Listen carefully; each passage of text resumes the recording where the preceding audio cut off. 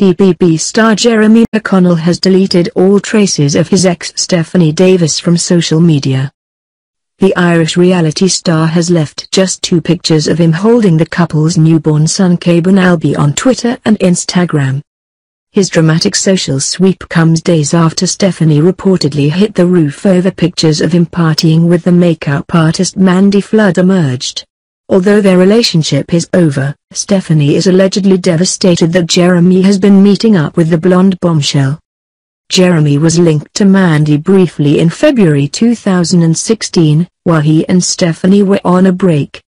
Although the pair rekindled their troubled relationship and went on to have son Caben Albi in May 2017, it's been reported that Stephanie was always wary of Mandy and banned Jeremy from contacting her.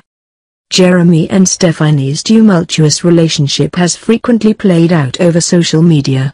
So this latest move by Jeremy is very telling. Relations between the CBB stars had broken down after their appearance in court last month when Jeremy was convicted of assaulting Stephanie at their home in March 2017.